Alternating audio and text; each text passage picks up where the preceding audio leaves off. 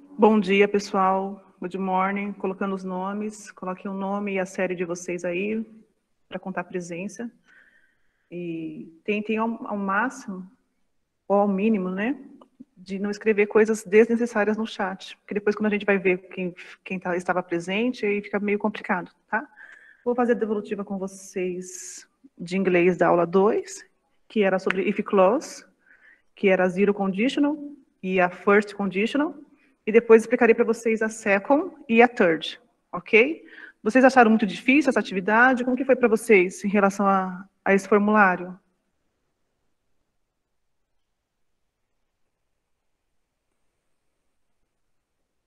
Estava tranquilo, professor.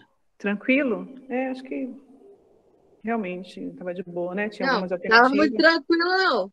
Não, Stephanie, não qual foi sua dúvida? Eu vou colocar aqui para vocês, vou apresentar o formulário e a gente vai vendo aí, tá? E aí, se vocês tiverem alguma dúvida, vocês perguntem, ok? Ok. Então, vamos lá, tela inteira. Agora, eu aprendi direitinho a, a partilhar, né? Porque era uma luta.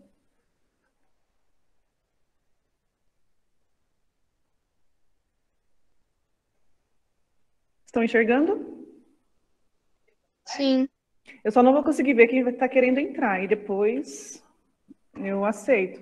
Nesse momento, agora, sem condições. Então, vamos relembrar um pouquinho. Nós falamos de if close, que são é, orações com if. Qual é a tradução de if? Sim. Se, que é uma condição, né? Nós temos aí várias condições. A partir da zero conditional. Qual é a fórmula da zero conditional? Quem lembra? E o que ela diz? Qual é a É um fato, não é? Fato, um fato verdadeiro que irá acontecer. E qual é a fórmula dela? Lembra que eu falei para vocês que na if close a gente tem que ter em mente, primeira coisa, é, qual é o significado dela e qual é a fórmula dela. Então nós sabemos que a zero conditional é um fato, é algo que irá acontecer. E qual é a fórmula dela? Quais são os tempos verbais que a gente usa nela? Nessas duas orações. Simple present e simple present. Exato. Simple present e simple present. Então, ok, na zero conditional a gente já sabe como que funciona. Vamos aos exercícios. Eu passei para vocês 10 exercícios. Do 1 ao 5, eu passei sobre zero conditional. E do 6 ao 10, sobre first conditional. A1, match the corresponding sense. Então, nós temos aí, ó, if you go to France, qual seria a resposta? Talk to her, visit Paris, it turns to order, ou it boils. Qual seria? A sequência dessa frase, desse início de frase. Qual é a tradução de if, if you go to France? Se eu for à França? Se você for à França, o que, que você pode fazer? Ah, é se você, né? Visitar Paris.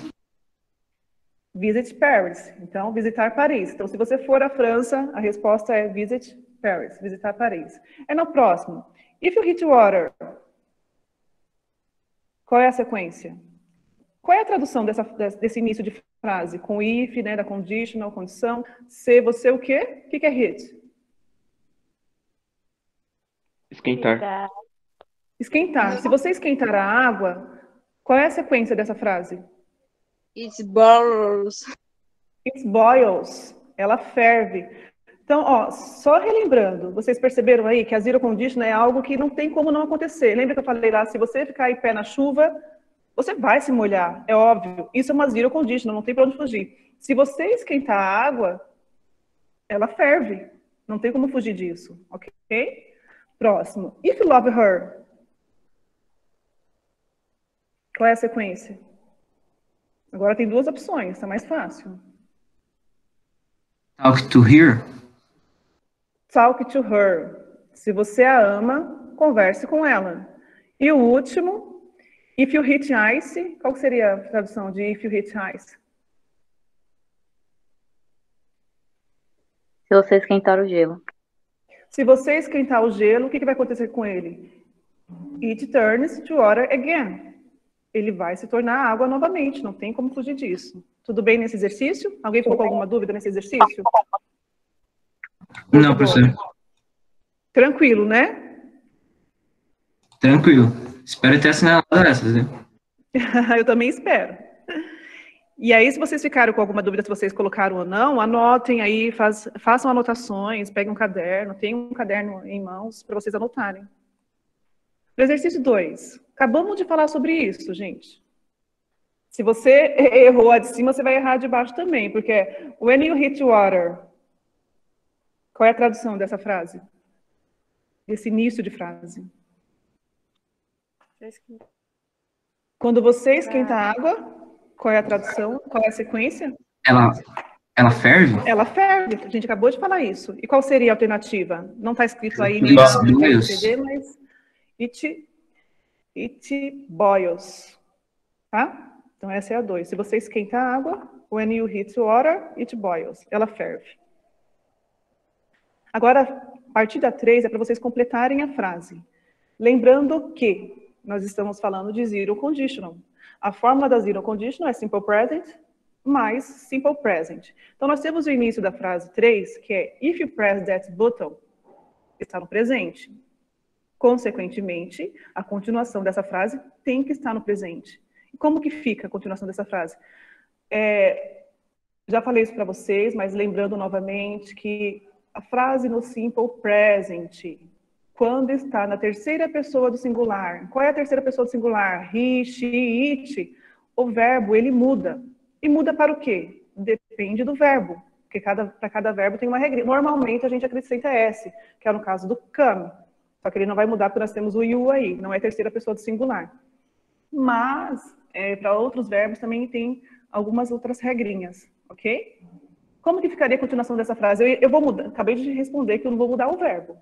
E como que fica então? If you press that button, the TV, como que fica o verbo?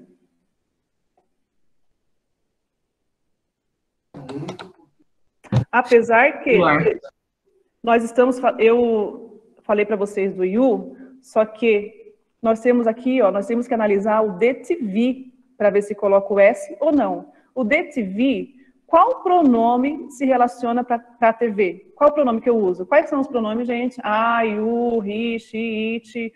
Qual pronome que é It. relacionado? It. It. Eu falei do you, mas é, I'm sorry. É, nós estamos falando do TV. É relacionado a it. Se é it, eu vou mudar esse verbo come? Sim. E como que eu deixo ele? É, acrescento S, não? Somente isso, tá? Então, eu vou acrescentar o S nesse verbo, porque nós estamos falando de TV. TV, é, no lugar de TV, posso colocar o it. E o it, como eu falei, he, she, it, eu mudo o verbo, então vai ficar comes.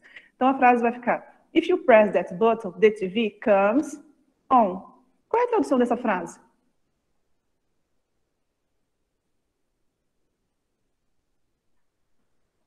Se você apertar o botão, a TV vai ligar.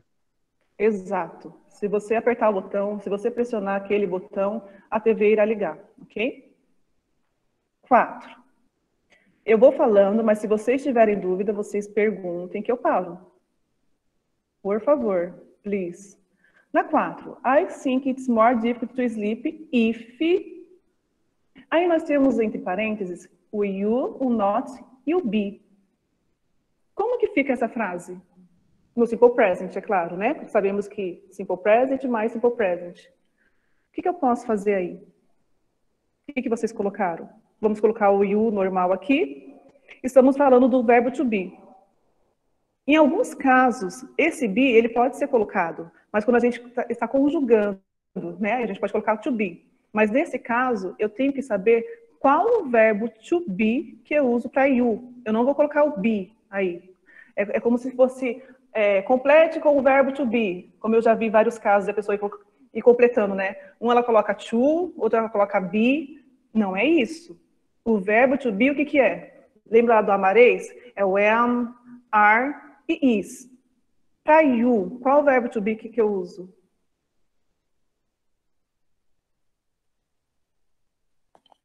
People? Qual o verbo to be que é para you, pessoas?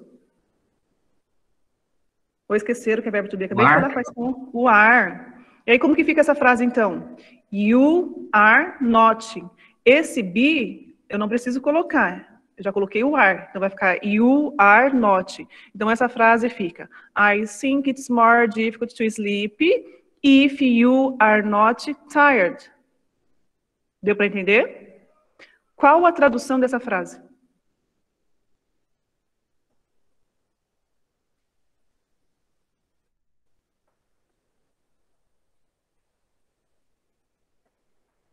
Como?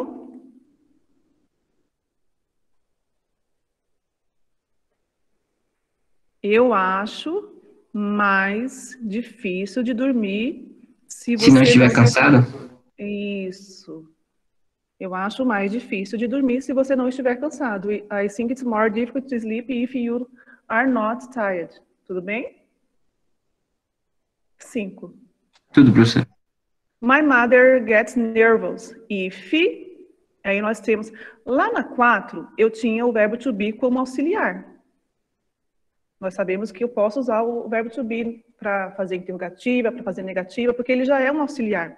Só que na 5, eu não tenho auxiliar. Qual é o auxiliar do simple present? Quem lembra? Quais são, né? Porque são dois. Quais são os auxiliares do simple present? Para eu poder fazer frase negativa, fazer frase interrogativa.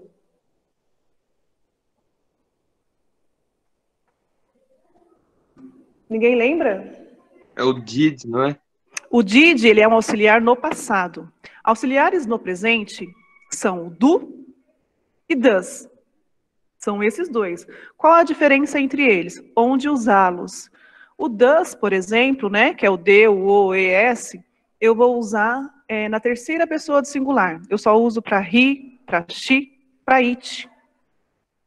O do, eu vou usar para o restante dos pronomes. Quais são o restante? I, you, we e they, tá? Sabendo que eu uso nesses casos, nós temos aí entre parênteses o I. Qual auxiliar que eu vou usar? O do ou does? Do. Do. Então a frase vai ficar: My mother gets nervous if I do not, ou se eu quiser abreviar, don't work hard. Ok? Então, nessa frase 5, para eu colocar no simple present e colocar na negativa, eu preciso do auxiliar, que no caso é o do, por conta do pronome I. Vai ficar I do not ou I don't work. Tá? Então, a frase fica My mother gets nervous if I don't work hard. Qual é a tradução dessa frase?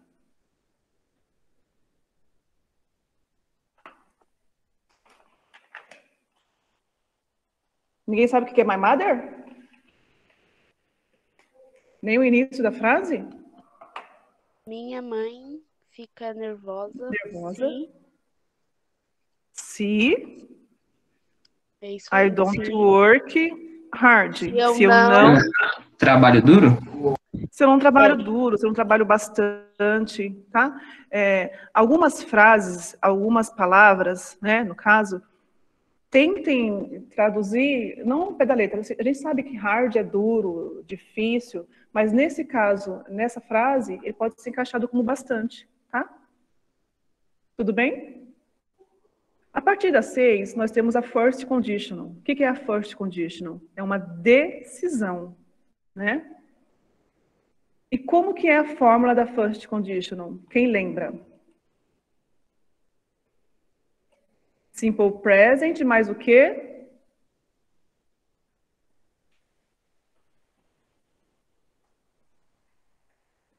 Simple future. Qual é o auxiliar que eu uso no simple future? Will? Will. Nós usamos auxiliar will. Então vamos à frase. If I. Esse verbo que está entre parênteses, o go, eu preciso mudá-lo? Professora, Oi. tem gente pedindo para entrar. Eu vou lá aceitar, tá? Só um instante. Aceitei. Voltei. Eu preciso mudar esse verbo go ou eu posso deixar no mesmo, do mesmo jeito? Vamos ver se vocês lembram. Eu expliquei isso agora há pouco. Em relação ao simple present, tá? A fórmula da primeira frase é simple present. O go, ele precisa ser mudado? Sim ou não? Sim, fica goes. Goes. Não, Não? Não. não precisa, por quê? Ele só será mudado se esse pronome que está aqui na frente fosse he, she ou it. Mas como é um pronome I, ele não precisa ser mudado. Então, nesse espaço aqui, vocês só irão colocar go. Não precisa mudar, tá? Então, if I go out tonight. Agora, nesse segundo espaço, nós temos o simple future. Qual é o auxiliar do simple future? Will Will. e colocou o go. Então é só isso, tá, gente? Ó, então, da- das seis em diante, o primeiro espaço é simple present, o segundo espaço, simple future. Em todos os segundos espaços, será colocado o will e o verbo que está entre parênteses. Só isso. Alguém teve alguma dúvida em relação? Nossa, O verbo também não vai mudar, professora? Não, não precisa mudar. Muito mais fácil, né? Ah, ufa. Tá ok? Então a frase da Ok, seis, então. ela fica If I go out tonight, I will go to Marisa's house. Qual é a tradução dessa frase? Se eu, Se eu for essa noite, eu vou na casa da Marisa? se eu sair, ó, go out. Se eu Ah, é verdade. sair essa noite, eu vou ou eu irei para a casa da Marisa. Tudo bem na seis? Beleza. Isso, gente, falem comigo. É Muito, eu não sei quem está falando, a voz acho que é do, do Dani. Porque eu não consigo ver co- como eu estou aqui. É o mesmo, professora. Participem, por favor. Na 7.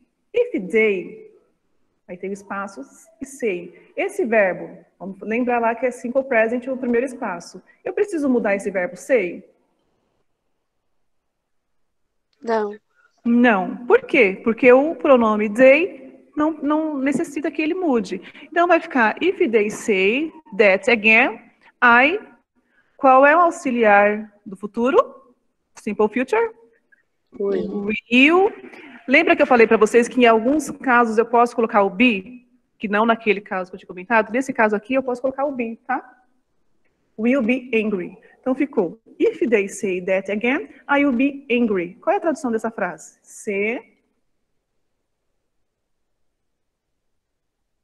eles E ele. Ah, esse eu não sei, professora. se eles disserem é, aquilo novamente, eu ficarei nervoso. O verbo to be não é ser ou estar, então eu ficarei nervoso. Angry é nervoso, é bravo, tá? Oito. If we, agora nós temos aqui o not e o se. Nós vamos usar auxiliar no presente. Agora eu quero ver se vocês lembram o que eu acabei de explicar. Qual é o auxiliar do presente? Quais são os auxiliares? São dois. O do e o does. O do e o does. Nesse caso, para o pro pronome we, qual que eu vou usar? Qual auxiliar que eu vou usar?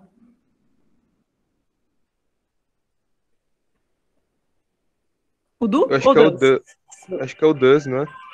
Não, o does eu só uso para he, she, it. O pronome Ah, não, que é eu tenho verdade, aí é é o we. Então vai ficar o we, do not ou don't see, tá? Então, para o we eu vou usar do. Então, do not see our friends tomorrow. We, mais o auxiliar do futuro, will see them next week. Qual a tradução da frase? If we don't see our friends tomorrow, we will see them next week. Se nós não vermos nossos amigos amanhã, nós veremos eles na próxima semana, next week, tá? Próxima semana. Nove. If she, simple present. Eu mudo esse verbo que está entre parênteses, que é o come. Preciso mudar? Sim ou não?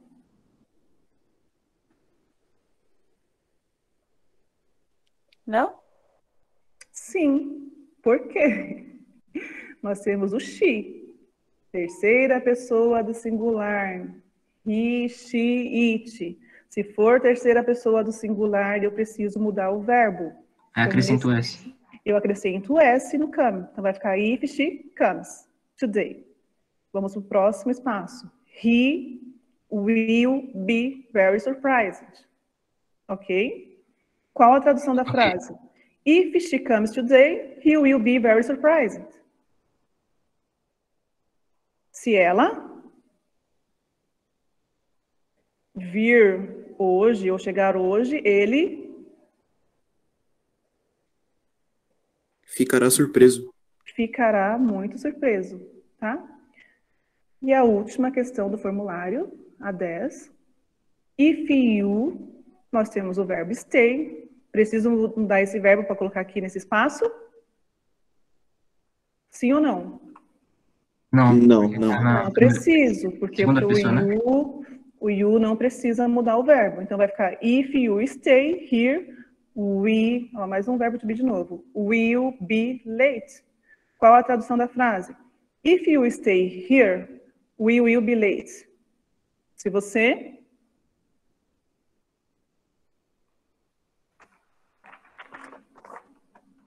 Qual é a continuação?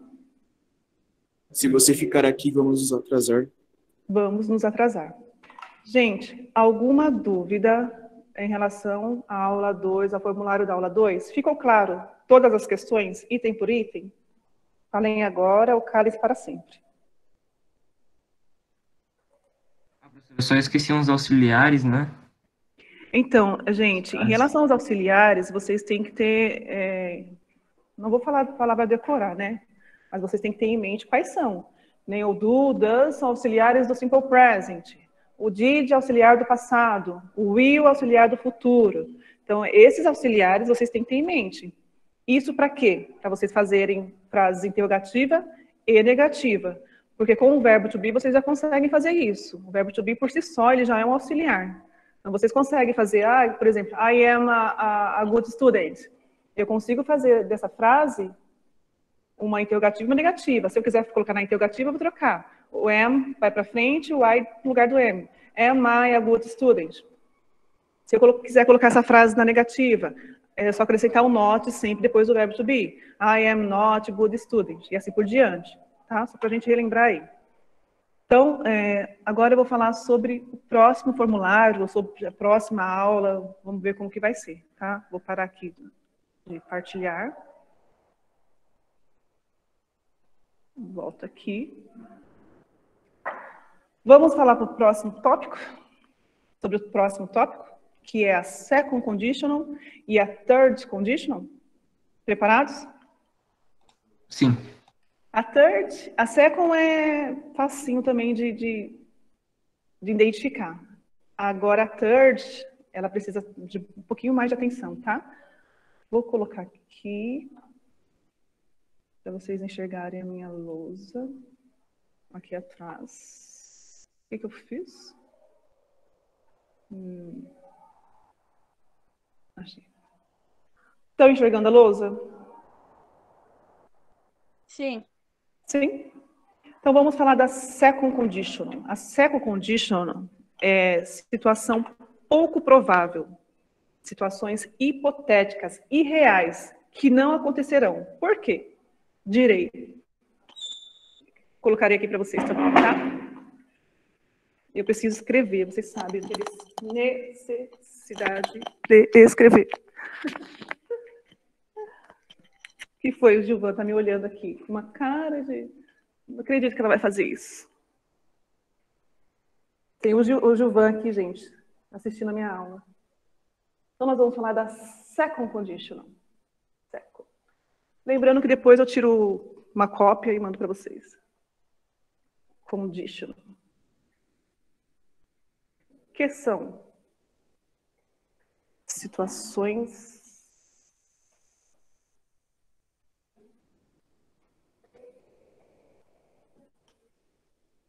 pouco provável.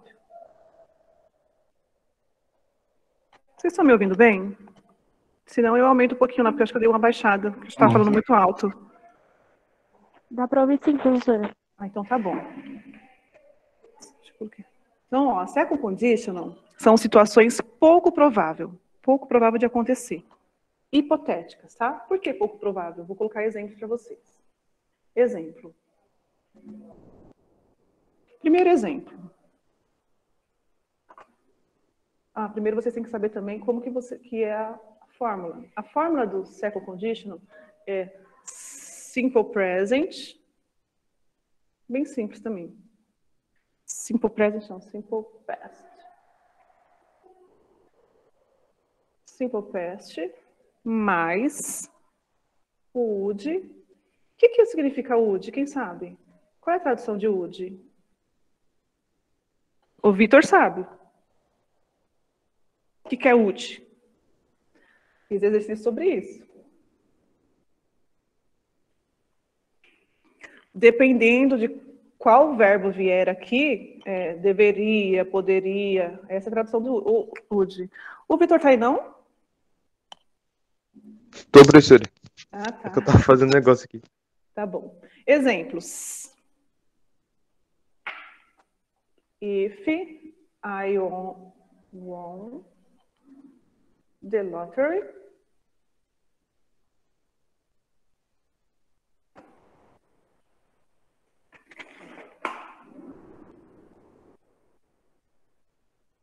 I would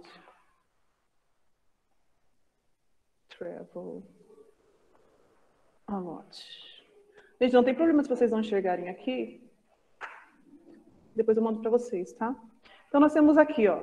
A primeira conditional está no simple past, que é a fórmula dela. E a segunda clause, a segunda frase, tem o would mais um verbo. Então, tem o would mais um verbo, tá? Não necessariamente será sempre travel, pode ser outro verbo. Então, if I won the lottery, I would travel a lot. Qual é a tradução dessa frase? Se eu ganhar, ou se eu ganhasse na loteria, eu viajaria bastante. Por que, que essa é uma situação pouco provável? Você joga na loteria? Eu nem jogo na loteria e estou falando isso. Então, isso, isso irá acontecer? Impossível acontecer. Possible. Então, se eu ganhasse na loteria, eu viajarei bastante. Mas é uma situação pouco provável.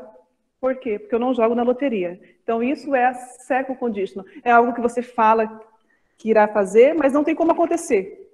Tá? Próximo exemplo. Ah, esse exemplo aqui, bem que eu queria. If I didn't have to work, I would go, olha lá o would, ó. Lembra que eu falei que o would não precisaria vir necessariamente com travel, pode vir com outro verbo. Go to the beach today.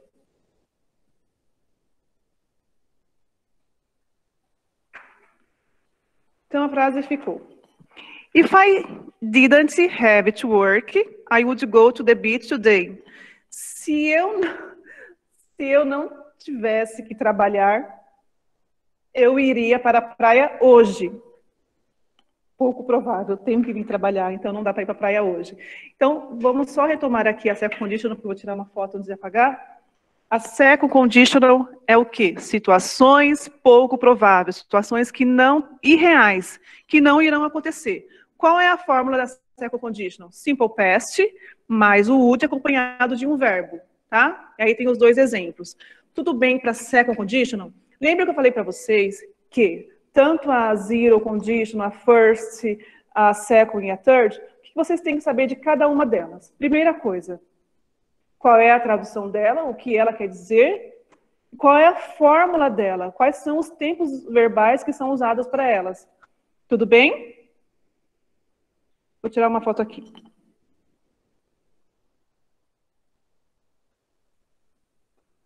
Então, nós temos as second condition. Pessoal, tudo bem? Tá me ouvindo? Sim, pro. Tudo bem. Posso passar para third conditional? Sim.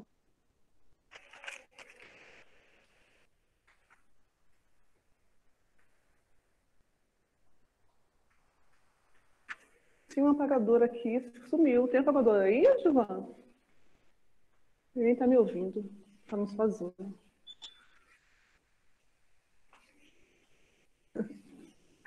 tá bom. Improviso aqui.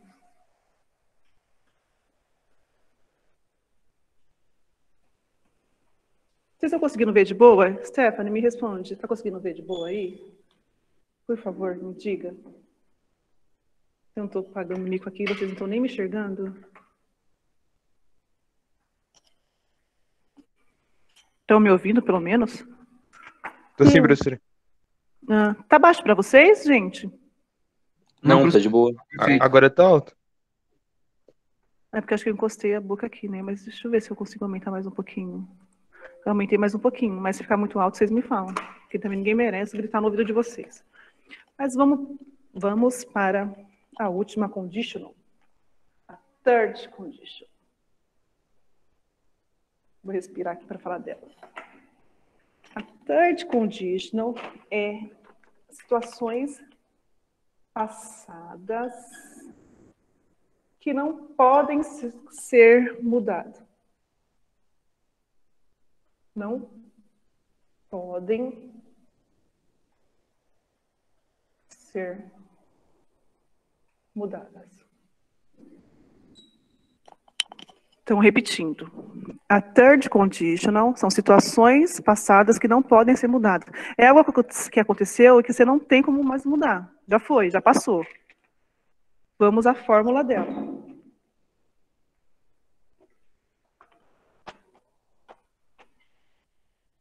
Past perfect. Ma- eita. É o past perfect mais would have mais o past participle.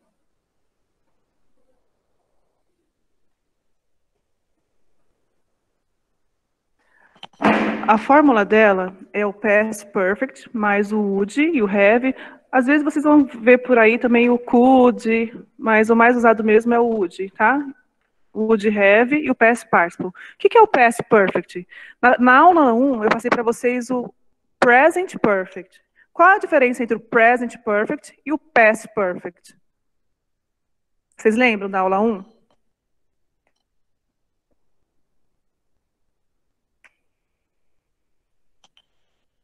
Lembram que, na verdade, o present perfect ele é usado com o have. A diferença do past é que é com o had, tá? O, o HAD. Então, essa é a diferença do present perfect para o past perfect. Aí nós temos o would mais o have e o past participle. Lembra o que é past participle? Eu sempre falo para vocês, aquela colu- coluninha lá dos verbos irregulares tem três colunas. Primeira, simple present, a segunda, simple past, e a terceira, past participle. É dessa coluna aqui que estamos falando, tá? Lembra que eu falei para vocês que o third conditional é um pouquinho mais, para prestar mais atenção. Vamos aos exemplos. Primeiro exemplo. Nossa. O tá péssimo.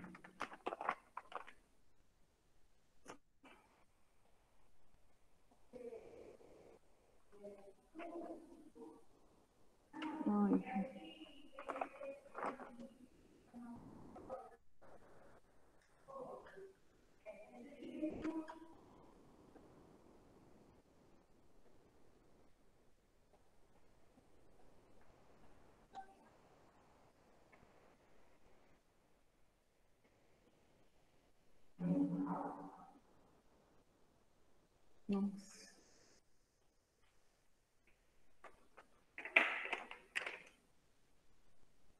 Gente, estou colocando outras cores aqui porque tá, tá ruim. Ó, então a formação é: If I had remembered your birthday, I would bought a present. Olha a fórmula aqui, ó. Past perfect, que é o had, mais o verbo com o ed, né? Mais o verbo do, na verdade, no past participle. E o would com o have. Esqueci de colocar o have aqui. E o verbo no past participle, aqui, ó. E a tradução fica: se eu tivesse lembrado do seu aniversário, eu teria comprado um presente. Se eu tivesse, tem como voltar atrás? Não tem mais como voltar atrás, já foi. Situações passadas que não podem ser mudadas. Se eu tivesse me lembrado lá na época, no dia do seu aniversário, eu teria comprado presente, mas eu não lembrei. posso voltar atrás. Então, isso é o third condition, é a situação que você não pode mais, que não pode ser mudada, tá? Mais um exemplo aqui, vamos ver se cabe. If you had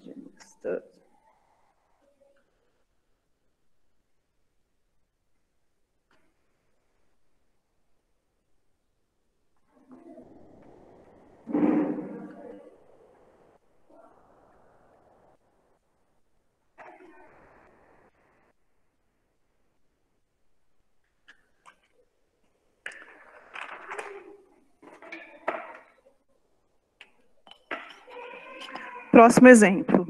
If you had studied, you would have passed the exam. Se você tivesse estudado, você teria passado no exame, teria passado no teste. Então, lá atrás, quando você fez a prova, se você tivesse estudado, você poderia ter passado no exame. Mas como você não estudou, não tem como voltar atrás. Então, a third condition, só para relembrar, me responda, por favor. Vocês me deixam nervosa se vocês não respondem. Third conditional, situações passadas que não podem ser mudadas fórmula dela é o past perfect, que vem o had, né? Bem naquele esqueminha do present perfect. A diferença do present perfect do past perfect, igual eu falei, no lugar do have, seria o have aqui, é o had. E é até mais fácil, porque no present perfect eu poderia usar o have ou o has, dependendo do pronome. Né? Para he, para she, para it, eu uso o has. No caso do past, é só had acabou. Para todos os pronomes é sempre had mais o would e o have. Lembrando também que eu falei que você pode usar o could, mas eu coloquei para vocês o mais usado para não ficar tão confuso. Então, nós temos aqui ó, o would e o have, mais o verbo no past participle. Como que é o verbo no past participle? Nós temos lá a tabelinha dos verbos regulares, o Vitor mandou para vocês, que é, eu também mandei para os outros grupos, que é, é primeira coluna, segunda coluna, na terceira coluna. Esse past participle sempre está na terceira coluna. E o verbo buy, de comprar, na terceira coluna, ele fica bought, tá? If I had remembered your birthday, I would have bought a present. Se eu tivesse me lembrado do seu aniversário, eu teria comprado um presente. O próximo exercício, lá no mesmo esquema de past perfect, ó, past perfect, mais would have, vocês entenderem aqui, ó, past perfect, would have, mais o verbo no past participle, que é o past. If you had studied, you would have passed the exam. Se você tivesse estudado, você teria passado no exame, teria passado no teste. Me responda. Ficou claro? Sim. Eu vou depois tirar uma foto e mando para vocês também, para vocês enxergarem melhor. Fico nervosa quando vocês não respondem. Sério, vocês percebem que eu fico nervosa. Tudo bem? Alguma Sim. dúvida? Sim, não. Ficou claro? E aí, né, só relembrando, quando eu for mandar o, o formulário ou aula presencial, se vocês tiverem alguma dúvida, pode me procurar. Tudo bem? Tudo bem. Ó, hoje eu não estou descabelada. Hoje até coloquei um negocinho aqui. Ainda não ficar bem, né? O TBT de toda semana tava sendo esse. Ninguém merece, né? É, mas eu acho que muita gente deu muita risada com isso. O professor na, na vida real. Quem me chamou? É. Professora, Oi. o res não muda, né? O has, em qual situação? Situação, é, third conditional, eu acho. Na third conditional, não tem has. É. Head. É, Ah, tá. não muda. Vai ser sempre had, Ah, tá. tá? Tá bom. É a fórmula do past perfect. É o had mais o verbo na terceira coluninha lá da tabela. Tudo bem? Então é isso, gente. Tenham um bom dia, uma boa tarde, estudem. Se precisar, só me chamar, ok? Ok. Goodbye, kisses. Tchau, professora. Obrigada. Tchau. Obrigada a vocês. Tchau, professora. Tchau, obrigado. Beijo, gente. prof.